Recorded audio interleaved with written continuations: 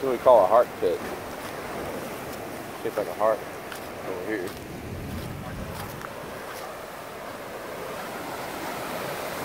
A big toilet bowl. Go down.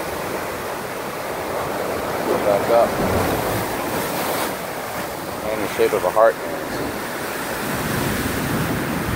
And we got pink around the edges.